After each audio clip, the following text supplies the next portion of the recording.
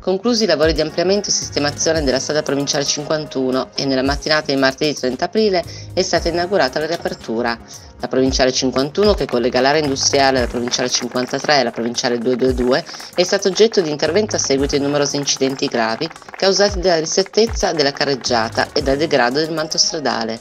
Grazie agli sforzi del Comune di Uzzegni è stato possibile ottenere i fondi necessari per la realizzazione di questa importante opera.